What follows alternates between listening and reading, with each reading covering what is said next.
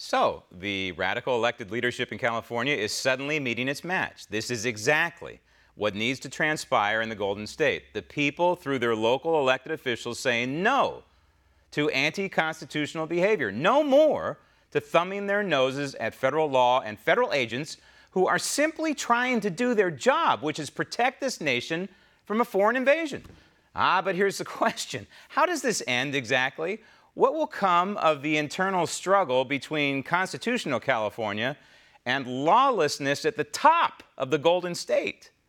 Joining me now from Southern California, Republican candidate for California's 36th congressional district, Kimberlin Brown Pelzer.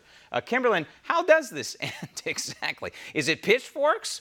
Is it going to be uh, California split in two states, as, as many people want to see happen? How do you see this thing ending? Graham, pe- people are finally standing up and they're finally using their voices. For far too long, people in the state of California, they haven't had one. And if you even look at the studies that Berkeley put out, over the high 70 percentile of Californians do not want sanctuary cities. They do not want sanctuary states. 73% of Latinos don't want sanctuary cities and states. And in the high 60 percentile, Democrats don't want sanctuary cities and states.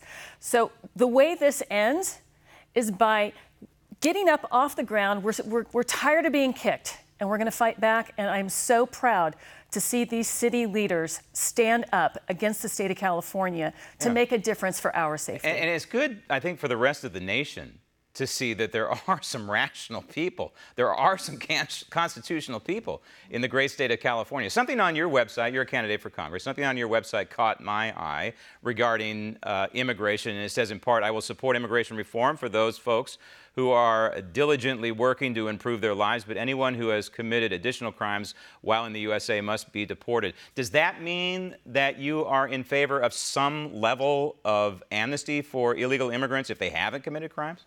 You know, I'm, I'm, I'm for some level of, of I, hate the word amnesty because when, when Reagan used that, he said it was the biggest mistake he ever right. made when they promised him border security. I'm, I'm for a pathway to citizenship. There's no doubt about that for people who, who have been here working and, and diligently paying their, their taxes and, and, and been a part of our society. I am not for illegal aliens. And I call it illegal aliens because that's the way it's written in our Constitution.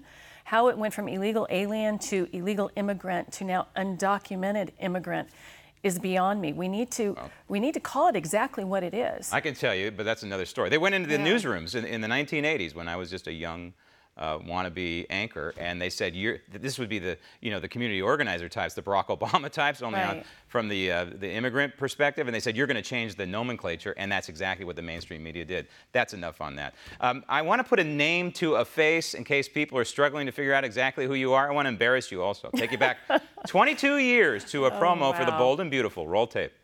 this January, someone's going to get this ring.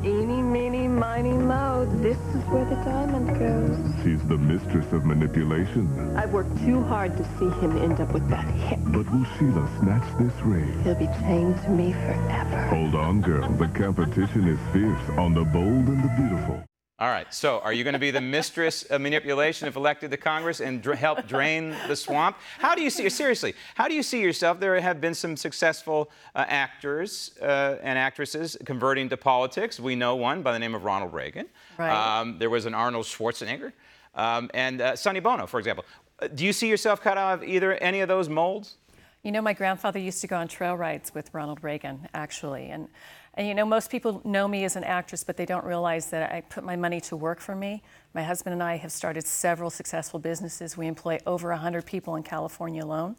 And, and I, am going to go there with our voice. You know, I'm not afraid to get fired. Mm-hmm. I'm, I'm going there to make a difference and call people out, bring them to the forefront, because we need people that are honest in Washington again, that have character and integrity and we haven't had that on both sides of, of the aisle for far too long. The 36th district, the district you're running in, is Sonny Bono uh, country. At least it's his legacy, right? This is Palm yes. Springs. Palm Desert, sometimes uh, would be considered a relatively affluent area. A large Hispanic presence there, uh, right. whether they are eligible to vote or not. This large presence, uh, uh I don't know the exact demographics. Uh, a gentleman by the name of Raul Ruiz is the current uh, congressman. He's a Democrat. Um, he's uh, pretty much uh, votes, from what I have seen, uh, whatever Nancy Pelosi uh, wants him to do, including the Pain Capable Act. He voted against that. Exactly. Um, how, how, how do you quantify uh, your opponent i- i- in this race? Well, well, you hit it right on the head. He's nothing but a Pelosi yes man, and he hasn't accomplished anything in three terms of, of, his, of his office. And how can a doctor, of all people, vote for that bill? Yeah. Who, who could ever stand for late term abortion when there's documentation now that, that the infant feels pain at five months? We're, we're the only civilized nation in the world that, that doesn't have a cutoff for, for abortion. And I think it's something that we seriously need to look at. All right, so you look at the present Congress right now. There's uh, about four months to go before they kind of fold the tent and say, ah, there's an election right around the corner, uh, so we're not going to do anything. So basically, it's going to be April, May, June, July.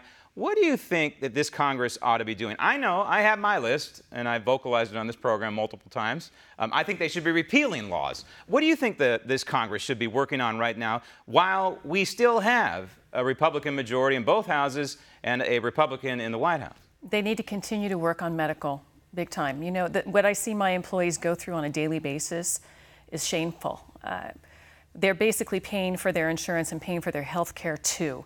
That was something that they had seven years to work on, and how on earth that was never done is, is beyond me. And when I went to DC and I was told, oh, but we did, we rolled something out. We rolled something out three months later. And I said, well, why did it take three months?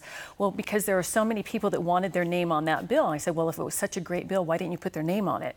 Well, there are so many egos here in Washington, Kimberly. You'll see that when you get here. And I thought, whoa. So, so this was because of, of ego, Graham? Mm-hmm. You know, if they were to, to be on the same medical plan that they put everybody else in America on, they'd be running across the aisles to work with one another. Right. We- but they don't reverse the bet, do they? No, they don't. They need to live by the same laws, rules, and regulations that they, that they impose on all of us. Well, um, let's hope if you're elected, you are the mistress of manipulation for the Washington, D.C. swamp and supporting Donald Trump's uh, agenda, which I think you support a lot of it. And so good luck to you. Maybe we'll have you back on the program before the, the primary in June. I'd love to. And if anybody wants to find out more information, please go to kimberlinforcongress.com.